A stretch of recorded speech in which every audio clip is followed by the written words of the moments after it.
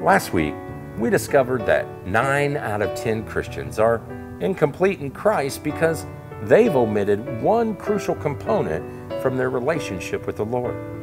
Do you remember what that one thing was? We also discussed how it's God's will that souls be saved, which is why He sent Christ, and we also discussed how valuable one soul is to God and why all Christians are commanded by Christ to share the gospel with others.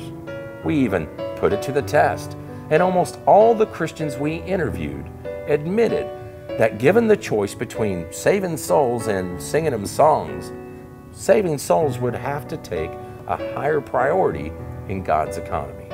Last but certainly not least, we also discovered that God's Word says that if we'll be active sharing our faith, it would help us to promote a full understanding of all good things that we have in Christ Jesus.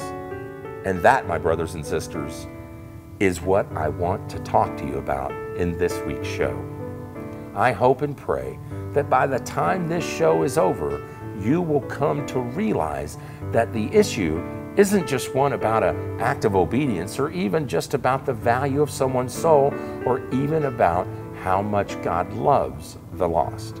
Those are indeed very important considerations, and they're great reasons why we all should be sharing our faith all the time. However, believe it or not, there's more to it than that, much more. And that's what we'll be talking about in part two of this episode of Prayer Stop that we call The Complete Christian.